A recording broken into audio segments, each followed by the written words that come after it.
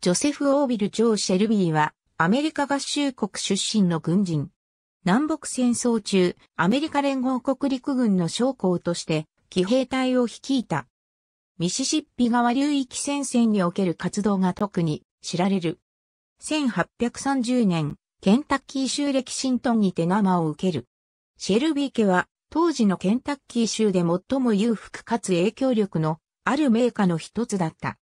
ジョセフが5歳の頃に父が死去し、以後は系譜の下で育てられた。トランシルバニア大学を卒業後、1852年までは縄職人として働く。その後、ミズーリ州、ウェーブリーに移り、ミズーリ川を行き来する蒸気船の水夫として働く。同時期には、朝農場、縄工場、製材所なども経営した。血を流すカンザス最中の1850年代中頃、シェルビーは奴隷制支持を掲げたブルーロッジなるグループをウェーブリーにて立ち上げるとともに、ボーダーラフィアンズの一団を率いていた。シェルビーによるカンザスに対する最初の政治的関与は、準州議会選挙最中の1855年3月30日にローレンスで行われた。この選挙では、カンザスでの居住実態がないミズーリ州民による不正投票が横行していた。彼らからの脅迫にさらされた選挙管理当局が居住宣誓の確認を取りやめたためである。また、シェルビーやミズーリ州民のグループは奴隷制廃止派に対する嫌がらせを繰り返していたが、これを妨げようとする者はほとんどいなかったという。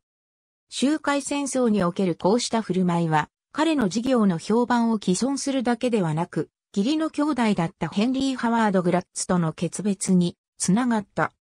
1855年、新設したばかりの製材所が全焼し、現場には放火を示唆する証拠が残されていた。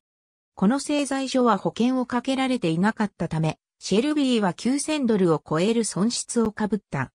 グラッツは国境レキシントンへと戻り、シェルビーは1860年2月に事業を競売にかけた。1857年7月22日、ジョセフ・シェルビーはエリザベス・ナンシー・シェルビーと結婚。彼女はジョセフのいとこの娘だった。結婚式は大きな蒸気船の上で行われ、新婚旅行の行き先はセントルイスだった。エリザベスはベティやベッツィの愛称で呼ばれ、ジョセフよりもずっと若かったと伝えられている。1861年4月、アメリカ連合国によるサムター要塞砲撃を経て、ミズーリ州知事クレーボーン・フォックス・ジャクソンは、エイブラハム・リンカーン大統領による要請を却下し、州内の合衆国勢力の排除に乗り出した。州民兵及び合衆国民兵の間で起こったセントルイス造兵省をめぐる衝突は、キャンプ・ジャクソン事件及び分離支持派民兵たる、ミズーリ州防衛隊の創設につながった。シェルビーは、州防衛隊にて、ラファエット軍騎馬不評隊を編成し、指揮官たる隊員に選出された。同隊は、カーシージ、ミルソンズ、クリーク、ピーリッチなどの戦闘に参加した。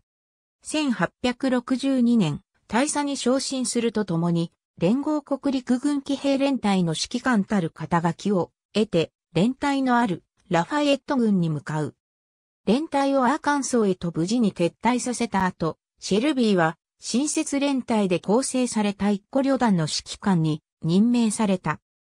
1863年秋、シェルビーは彼の名からシェルビーの鉄の旅団として知られたミズーリ志願兵らからなる部隊を率い、騎兵によるものとしては当時史上最長とされた襲撃作戦を指揮し、同作戦は後にシェルビーの襲撃として知られることとなる。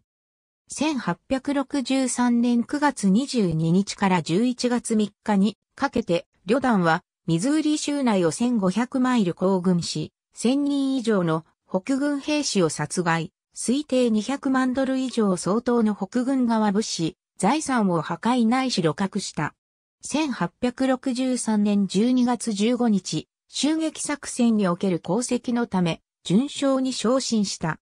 1864年、北軍のフレデリック・スティール将軍が指揮したカムデン、遠征が失敗に終わった。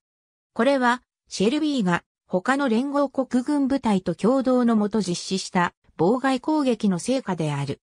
マークス・ミルズの戦いの際、シェルビー率いる騎兵隊が軍用列車を襲撃して補給線を寸断した結果、スティールの霊下部隊はリトルロックへの撤退を余儀なくされた。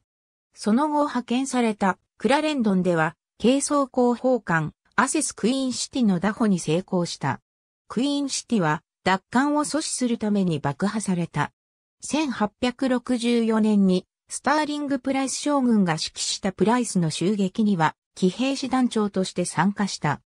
リトルブルー川の戦いやウェストポートの戦いでも先行を立てたほか、ポトシ、ブーンビル、ウェーブリー、ストックトン、レキシントン、カリフォルニアなど、ミズーリ州各地の町で北軍守備隊を駆逐した。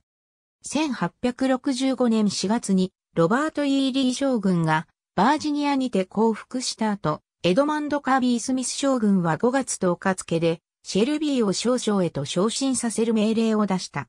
しかし、連合国政府の崩壊により、シェルビーの正式な昇進は行われなかった。当時シェルビーの副官だったジョン・ニューマン・エドワーズは、後にカンザスシティタイムスの編集者となり、アンチヒーローとしてのジェシー・ジェームズや南ハゲリラの宣伝に深く関わっていくことになる。1865年6月、降伏を拒否したシェルビーと1000人ほどの廃山兵は南下してメキシコへと向かった。伝えられるところによると、行軍中に軍機が合衆国軍に奪われることを恐れたシェルビーは現在のテキサス州イーグルパス付近で軍機をリオグランデ川に投げ込んだという。この時の光景を描いた絵画がイーグルパス市役所に展示されている。降伏を拒否したシェルビーらは腐敗の兵士として伝説化された。戦後に南部人らによって歌われたザ・アンリカンストラクテッドレベルにはシェルビーに対する次のような言及がある。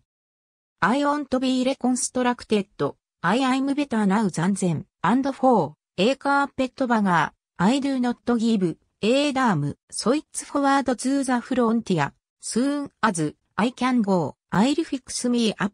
a weapon and start for Mexico. シェルビーはメキシコ皇帝マクシミリアーノ一世のもと、外人部隊としての従軍が認められることを期待していた。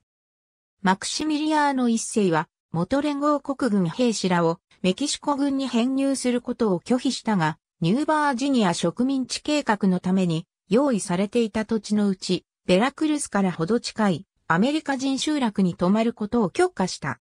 2年後、マクシミリアーノ一世の処刑と帝政崩壊の中で駐留許可は取り消された。